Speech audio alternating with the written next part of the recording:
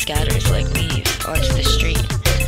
There are hundreds of invisible people with me, clutching steel coffee and fixing their silent stares on signs, newspapers, metro schedules.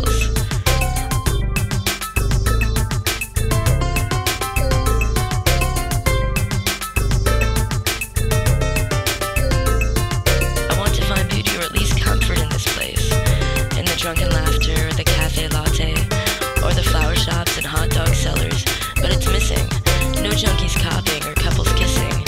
No old women pining about aches or pains or dull weather. As we shuffle onto the rail, a welcomed woman flushes under my absent stare, and the man with the laptop in the back takes a seat as the pregnant woman stands against the door. Everyone shudders at the sound of the coffer in the bag and the cell phone talker